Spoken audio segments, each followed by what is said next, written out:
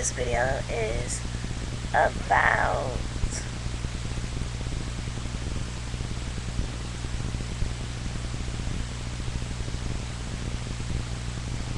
this video is going to be about what is sickle cell.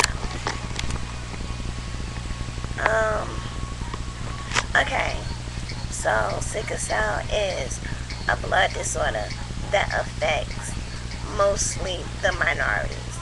It affects African Americans, Latinos, the Mediterranean, Mediterranean, I can't get it.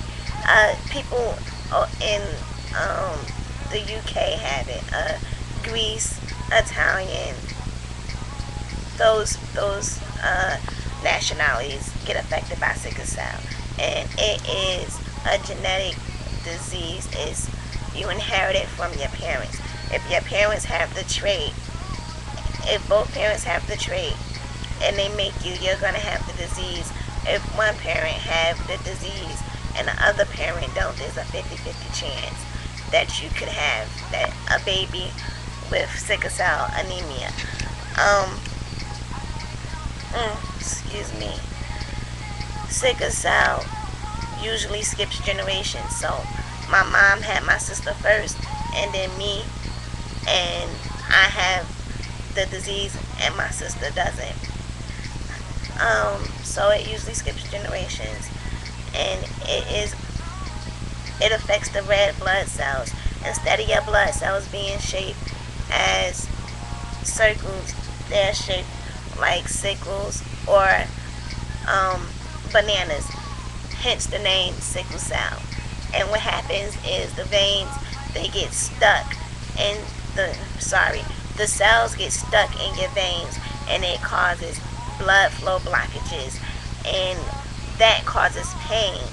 And sickle cell also causes organ damage and tissue damage also. And um, it's about 100,000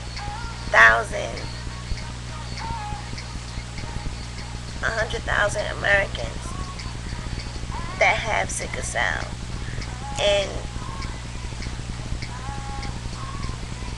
and some that have the trait. It's like 30% of the people have the trait and doesn't even know that they have the trait. And you can still get tested for the trait. Please, please get tested for sickle cell trait because if you fall in love with somebody and have a baby and you have the trait and don't know and this person have the trait and y'all have a baby, you can bring a baby into this world with sickle cell and that is not it, you that'll be your worst nightmare is to bring an unhealthy baby in the world just like that. This disease is not like any other disease because we are born with it and we will die with it. So we will have it our entire life I mean, it's other diseases out there like that. I'm not saying that sickle cell is the only disease like that, but I'm just trying to stress, you know. And um, what else? People die from sickle cell, you know, all the time. Like Sickle cell is not a death sentence. That is not what I'm saying. And sickle cell can't kill you. But complications of sickle cell, that's that's what you could die from. Having complications from it. Um, but that's what sickle cell is. It's a blood disorder.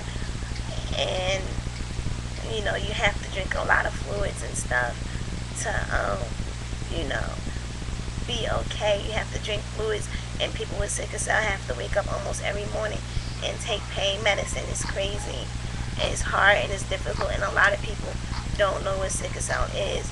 My own mom did not know what sickle cell was when she had me. And when the doctors told her, she was like, what the heck is that? And it kind of, you know, makes me mad because even after she had me, she still didn't know. My mom didn't start asking me questions about sickle cell until I got like 17. And it was questions she should have asked me a long time ago because we probably would have had a much better relationship if she would have fully understand it, understood it while I was younger instead of waiting.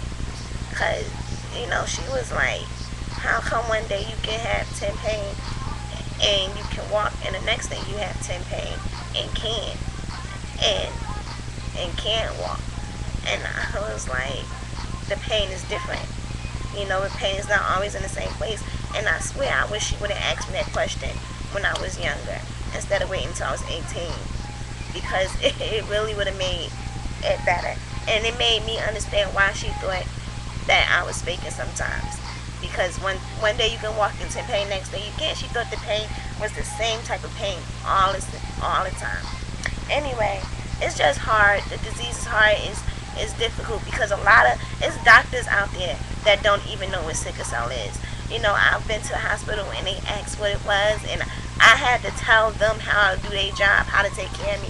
And then because they didn't know what sickle cell was or they didn't understand it, they thought that I was lying about the type of medications I'm on. It's crazy how, you know, it's people out there that don't know what this disease is and people die from this disease. This disease is horrible and this disease been around for a long time. And for people to still not be educated on it, I feel is really ignorant.